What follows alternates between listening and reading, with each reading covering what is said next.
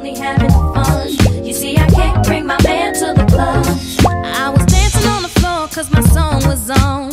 He pulled up behind me, said his name was Sean. He told me that he liked the way I moved my hips, snap my fingertips, then I licked my lips. It was going on three and we decided to leave. He walked me to the car and said he'll pay my parking fee. As we're rolling out the light, he said he wanted to chill. I smiled and shook my head, then I said thanks for paying the bill. I can't help it when a guy is watching